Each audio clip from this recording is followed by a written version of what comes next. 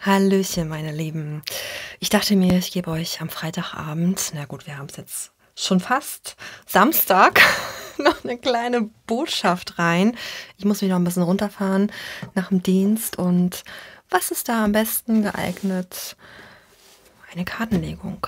Wir gucken mal rein, was ich so zeigen will. Und wie immer, ich weiß, ihr seid auch langsam leid, aber es gibt ja auch immer neue Menschen, die dazukommen. Die, so eine Legung kann, wenn sie öffentlich ist, mit euch resonieren. Sie muss es aber nicht. Vielleicht passt auch nur ein kleiner Teil. Vielleicht siehst du auch jemanden in dieser Legung, obwohl ich eigentlich ja für den Zuschauer spreche oder in Bezug auf den Zuschauer spreche. Ja, ganz wichtig immer auf dem Boden der Realität bleiben. Okay, liebes Universum, was haben wir denn hier für eine Grundenergie am Freitagabend? Das Häuschen. Knusper, knusper, Knäuschen. Wer knabbert an meinem Häuschen? Das Schicksal. Also, wir haben hier eine Stabilität liegen, eine Basis. Schicksal, Karma, Belastungen. Auf dir liegen die Gefühle oder auch der finanzielle Fluss. Auf jeden Fall der Fluss des Universums, sagen wir es mal so. Fülle, egal ob finanziell oder emotional.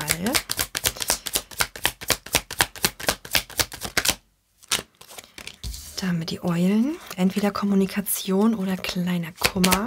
Und was kriegen wir noch? Hm, die wollte nicht. Und ich glaube, das war auch die Schlange, ne? Ja, die brauchen wir auch nicht. das kleine Glück. Vielleicht war die Schlange auch ein kleiner Hinweis, dass da vielleicht noch eine kleine Verstrickung ist, aber die spielt keine Rolle. Sagen wir es mal so. Okay, wir klären das Ganze wie gewohnt mit den Tarotkarten. Das Seelenreise-Tarot, ne, wie immer alle Infos in der Infobox. Auch der Link, wo ich das her habe, das ist von Julia Aurelia, findet ihr dort. Ansonsten einfach mal bei Google eingeben. Und natürlich auch der Link zu meinem Online-Shop ist da drin. Die neun der Kelche sind hier ganz komisch rausgeflogen. Das ist Fülle, das ist Überfluss, das ist Liebe, das ist gutes Karma. Okay, oh, das Ass der Stäbe. Ja, sieht so aus, als wärst du hier sehr eifrig unterwegs. Ja, mit neuen Ideen, mit neuer Energie bist du hier vollkommen bereit, in einen Neuanfang zu gehen. Das ist schon mal sehr, sehr gut. Uh, der Mond auf dem Kopf. Ja, vielleicht ist das das kleine Aber in Form der Schlange, die sich da so ein bisschen gezeigt hat. Der Mond auf dem Kopf, das ist immer so ein bisschen, okay, man hat hier noch Ängste. Ja. Vielleicht interpretierst du auch Dinge falsch, obwohl eigentlich alles gut ist. Kann es natürlich sein, dass du gerade mit diesem Es ist alles gut noch so ein bisschen hagerst, ja, strugglest, dass du Angst davor hast, jetzt ähm, die Realität auch wirklich anzunehmen, ne? weil auch das ist ein Hinweis, dass man eben nicht unterscheiden kann zwischen Realität und Illusion, beziehungsweise eigentlich schon, aber Vielleicht denkst du auch nur, es ist eine Illusion, dass hier auf einmal alles so ja hochenergetisch läuft. Aber warum sollte es nicht mal gut laufen? Gerade wenn alles gut läuft und wir sagen, oh, das, das läuft viel zu gut, dann manifestieren wir schon wieder das Negative. Und das ist nicht gut. Deswegen ist zum Beispiel auch so ein kleiner Insider bei uns auf Arbeit. Man darf niemals sagen, es läuft alles, weil spätestens dann geht es bergab Deswegen sage ich immer bis jetzt hinterher. Wenn das einer meiner Gegenwart sagt, dann sage ich immer bis jetzt. Bis jetzt läuft alles gut. Ist wirklich so. Ganz schnell das Negative rausnehmen. Ja, der Tod. Das Loslassen. Und ja, guck mal hier, die Zehn der Kelche. Wunschlos zufrieden, ne? Also, du bist hier noch im letzten Abschluss. Klar, du hast noch ein bisschen Angst davor, du hast vielleicht auch Angst vor der Veränderung, das, was jetzt kommt. Nichtsdestotrotz, der Tod steht fürs Auflösen. Das heißt, hier löst sich definitiv noch der letzte Aspekt auf, der dich noch irgendwo davon abhält, jetzt nach vorne zu gehen. Denn, wie gesagt, du bist hier wunschlos zufrieden und wir haben hier auch irgendwo die Verbundenheit. Ne? Beide Karten sprechen auch für Liebe. Die Liebe in dir, für dich selbst, Vielleicht aber auch natürlich die Liebe im Außen. Wir wissen es nicht. Noch haben wir hier keine weitere Person drin. Und du bist hier auch mutig und tapfer unterwegs, um in den Erfolg zu gehen, erfolgreich zu sein. Ne? Sieben der Stäbe, das ist immer, ich presche jetzt los, ich stehe für mich selber ein, ich überwinde meinen, meine Mutlosigkeit, ich überwinde vielleicht sogar auch Neid. Auch das könnte eine Rolle spielen, ja. Dennoch sind die sieben der Stäbe immer dieses Hinweis auf Fortschritt, auf Wachstum, auf die Tatsache, dass du zurück auf den ja, Boden der Realität kommst. Du erdest dich und bist dadurch auch geschützt, weil du so nämlich definitiv unterscheiden kannst, was ist real und was ist nicht. Belastungen rausnehmen, deinem Schicksal jetzt die richtigen Schubs geben, beziehungsweise, naja, nicht den richtigen Schubs geben, sondern dir den richtigen Schubs geben, aber um dein Schicksal neu zu lenken. Damit schauen wir jetzt mal auf dich und auf die Fülle, die hier über dir liegt. Was kriegen wir denn da rein? Emotionale Heilung. Oh, guck mal. da ist er ja, der Hühnerschrecker. Der Münzkönig. Jemand sehr geerdetes, bodenständiges, jemand, der seinen Zielen nachgeht, ja, sie auch immer verfolgt. Mm, dadurch haben sie manchmal auch ein bisschen weniger Zeit. Das ist so. Wenn Menschen gerade in der Erdenergie sind oder auch ein Erdzeichen sind, das kann natürlich auch sein, ähm, dann sind sie sehr beschäftigt. Das ist aber unabhängig von deinem Sternzeichen oder von dem Sternzeichen deines Gegenübers. Ähm, dieser Mensch ist sehr engagiert, ja, hat auch viel Business, Business, also er selbst oder auch sie, kann natürlich auch eine Frau sein. Dieser Mensch stellt sich natürlich auf die erste Stelle, das ist auch so. Dennoch sind sie auf Langfristigkeit aus. Das heißt, sowohl in ihren geschäftlichen Beziehungen als auch in ihren privaten Beziehungen, sofern sie reifer sind. Das muss man auch dazu sagen. Ja? Wenn es eher noch so junge Leute sind, die toben sich auch gerne mal aus. Ne? Die haben zwar schon ihr Business im Kopf, aber der Rest, der ist noch so ein bisschen so lala. Aber wenn sie älter sind, ähm, dann werden sie auch sesshaft. Und dann wollen sie keine kurzweiligen Vergnügen mehr haben, sondern wollen wirklich langfristige Vergnügen haben. Und davon gehen wir jetzt ja einfach mal aus. Und gerade weil bei, bei, dir auch die Fülle drüber liegt, sieht es für mich so aus, als wenn dieser Mensch noch so ein bisschen den letzten Aspekt von negativen Emotionen lösen möchte. Oder du löst das bei diesem Menschen. Auf jeden Fall haben wir hier eine Einladung liegen in gewisser Weise, beziehungsweise eine neue Bekanntschaft. Also das hier ist jemand Neues. Ja, also wenn du jetzt hier die ganze Zeit schon an jemand anderes gedacht hast aus deiner Vergangenheit, dann muss ich dich leider enttäuschen das ist eine Illusion gewesen. I'm sorry, nein.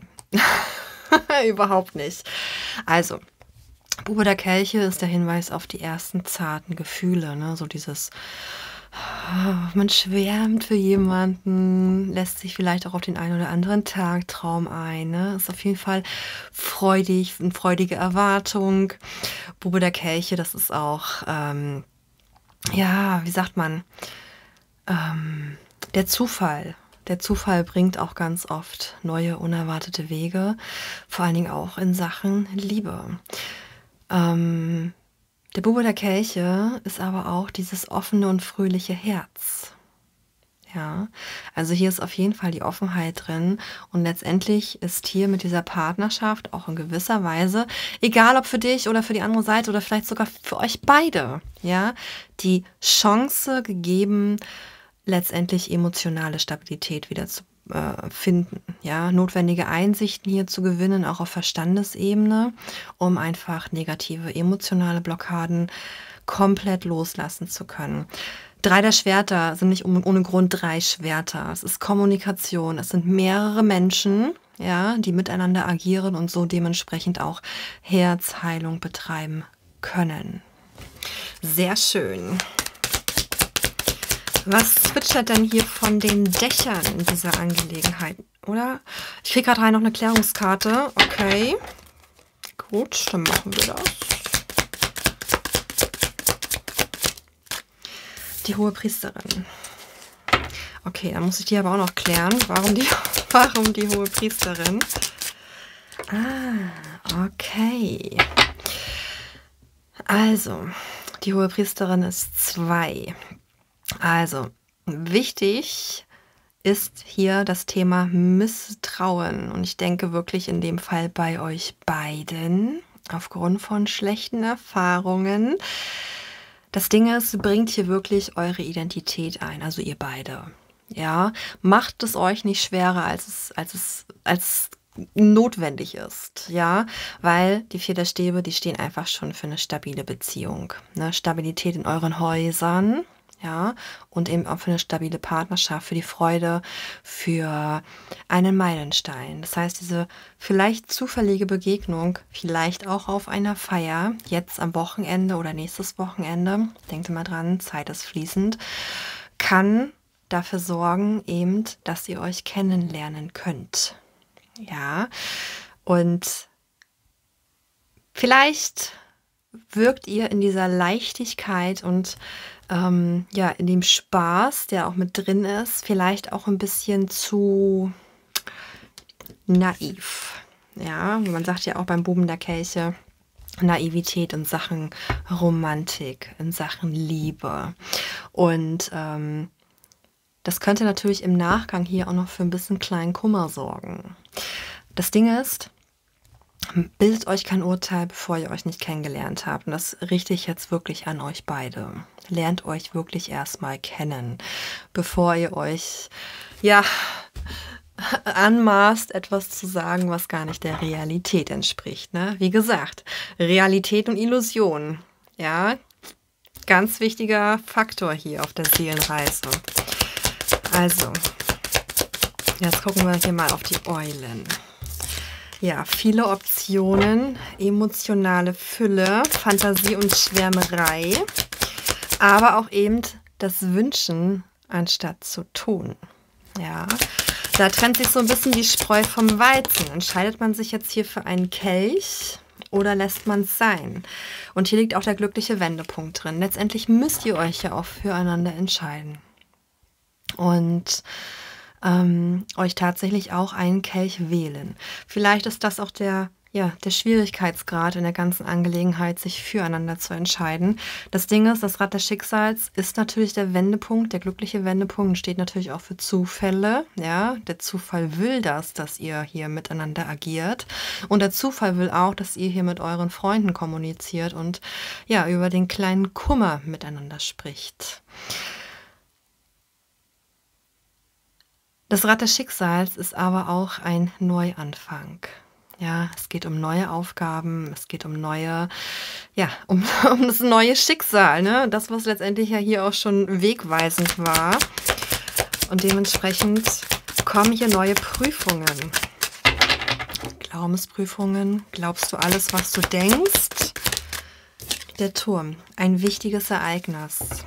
Der Turm ist auch Befreiung. Man sagt auch das, der Blitz Gottes. Ja, sehr durchdringend und möchte letztendlich auch eine alte Hülle vollends aufbrechen. So, jetzt haben wir hier schon so einen Blitzeinschlag. Ne? Es macht Boom. Im Nachgang den zweiten Blitzeinschlag, Boom.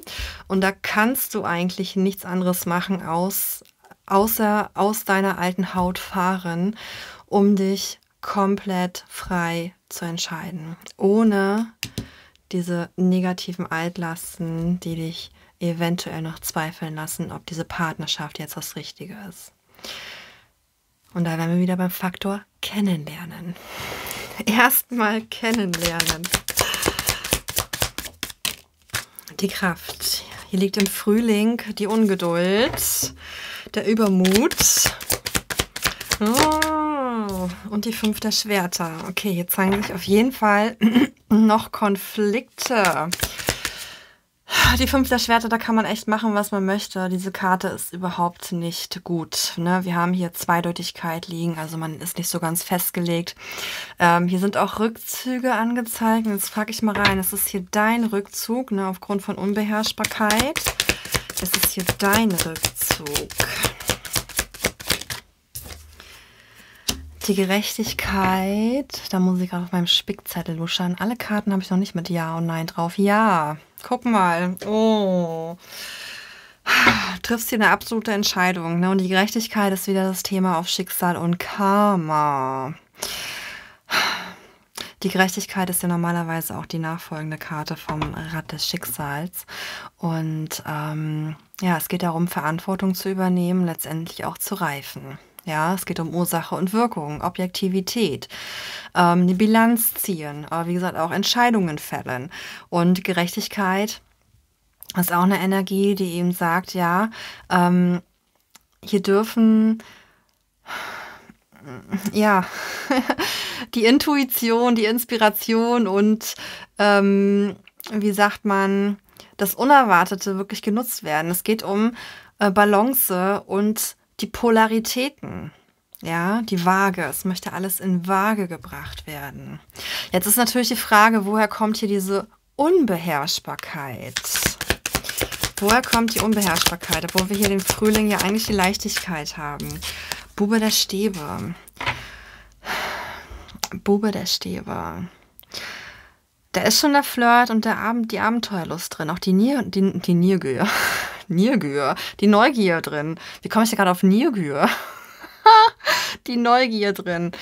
Ähm, aber auch das Beobachten. Ja, ich meine, auch hier ist der Neuanfang gekennzeichnet. Geht sie vielleicht nicht schnell genug? Möchtest du am liebsten kennenlernen, heiraten, Haus, Kind und fertig? Sofern du noch an sowas denkst. Aber irgendwie ist hier diese Ungeduld drin. Hm. Und Selbstzweifel, ne? selbstzerstörerische Handlungen. Rennst du hier vielleicht weg? Rennst du hier weg vor dieser Fülle? Vor dieser Option? Hast du Angst aufgrund, ja, aufgrund von Blockaden? Guck mal, fünf der Münzen. Oh. Du denkst, die Zeit ist noch nicht reif. Du fühlst dich nicht gewertschätzt, vielleicht sogar.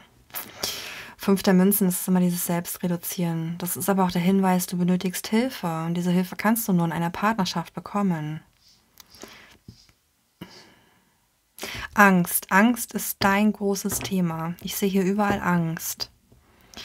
Angst sorgt natürlich auch für Selbsttäuschung. Angst ist absolut kein guter Diener, ganz im Gegenteil. Angst kann dich unglaublich beeinflussen in deinen Entscheidungen, die du triffst. Angst hält dich von der Fülle ab. Angst hält dich davon ab, den nächsten Schritt zu machen. Angst ist eine Energie, die lässt dich auf der Stelle stehen. Angst sorgt nicht dafür, dass du vorwärts gehst. Ganz im Gegenteil. Angst sorgt sogar dafür, dass du zurückweichst und nicht vorwärts kommst. Ich lege mal die Karte oben drauf. Gibt es hier noch eine Kehrtwende, liebes Universum? Oh ja, es gibt noch eine Kehrtwende. Also, kein Mensch sagt, dass du hier in diese Partnerschaft gehen musst. Vielleicht ist diese Partnerschaft auch einfach nur da, um dich zu triggern, dich zu pieksen, ja? Im wahrsten Sinne des Wortes. Weil wir merken erst, wo es piekst, wenn, ähm, wenn wir jemandem nahe kommen. Ähm, ich habe das schon ein paar Mal in meinen längeren Legungen auch erwähnt. Ähm, ich hatte mal irgendwie noch eine Stecknadel in einem Kleidungsstück drin. Und da habe ich immer gewundert, weil so ist es mir nicht aufgefallen. Wenn ich so meine Freunde umarmt habe, dann piekste das immer an so einer Stelle. Und ich hatte auch schon ein paar Mal nachgeguckt, konnte aber auch nichts finden. Und äh, irgendwann habe ich mich wieder mit einer Freundin getroffen und um, uns umarmt und dann piekste das wieder. Und dann habe ich gesagt, ich so, kannst du mal gucken, irgendwas ist da. Ja, und dann äh, konnte man so ein bisschen durch das Futter eine Stecknadel noch fühlen. Ja, die saß da drin. Aber genauso ist es. Ne? Wir brauchen diese Interaktion im Zwischenmenschlichen, um festzustellen, wo es uns noch piekst. Und Angst ist etwas, was dich hier noch extrem piekst. Auch wenn du hier schon eine gewisse Grundbasis hast, aber die Basis ist da, um einfach jetzt auch gepiekst zu werden. Ich muss es so sagen, wie es ist. Und da ist die Erfüllung von Seelenverträgen auch gekennzeichnet. Das heißt, ihr beiden habt hier einen Seelenvertrag miteinander, um euch zu pixen. Wahrscheinlich auch gegenseitig. Vielleicht habt ihr auch das gleiche Thema, das gleiche Thema Angst. Und hier mit den drei der Kelchen kann einfach eine Genesung, eine Gesundung stattfinden, um wieder in Erfüllung und Spaß reinzukommen. Hier ist auch der Freundeskreis gekennzeichnet. Der ist auch wichtig. Ja komm wieder zurück in dieses, in diese einfache Freude. Das ist der erste Schritt. Und dafür ist diese Begegnung da, dieses wichtige Ereignis da. Ja, wenn es dich jetzt nicht hundertprozentig anspricht, obwohl ja hier der Flirtcharakter drauf liegt, hältst du es aber auch eher oberflächlich. Entweder es muss weitergehen oder es geht danach weiter, weil es fällt hier noch der Kelchkönig raus. Was haben wir hier auf der Unterseite? Die Sonne. Ja, vielleicht Richtung Sommer dass hier ein bisschen Herzöffnung stattfindet. Ich nenne sie auch gerne Korkenzieher, ja, beziehungsweise leichte Herzaufreißer, so könnte man das auch sagen dass die aber einfach nur eine Vorbereitung sind für eine neue Partnerschaft, die dann tendenziell hier im Sommer stattfinden kann. Ja, wo du dich dann auch komplett auf diese Menschen einlassen kannst. Und das ist ja nun mal auch der Gefühlsklärer in Person. Ja, also der kann dich emotional schon richtig durchwirbeln. Aber es ist nun mal der Seelentherapeut. Ne? Wenn die Seele heilen will, dann hast du hier die zweite Chance, positive Chance. Vielleicht ist das hier auch schon ein Ja mit der Glückskarte. Ähm, dann dementsprechend die Reife und die emotionale Reife vor allen Dingen auch zu haben, um dann in eine Partnerschaft zu gehen. Vielleicht ist der Kelchkönig aber auch der Münzkönig und die Story geht weiter. Wir wissen es nicht. Ja, alles ist möglich. Ihr lieben Liebenden. Für alle, die, die noch wach sind, ich wünsche euch gleich eine gute Nacht. Für alle, die, die den erst am Tag sehen, einen schönen Tag. Und ähm, ich denke, ich werde Samstag nach dem Feierabend, ja, da werde ich auch noch mal eine Legung machen. Ja, und Sonntag sehen wir uns ja auch wieder zur Wochenbotschaft auf YouTube. Ne, ihr Lieben, lasst es euch gut gehen. Bis bald. Dankeschön fürs Anschauen, fürs Liken, Kommentieren und fürs kostenlose Abonnieren. Bis bald.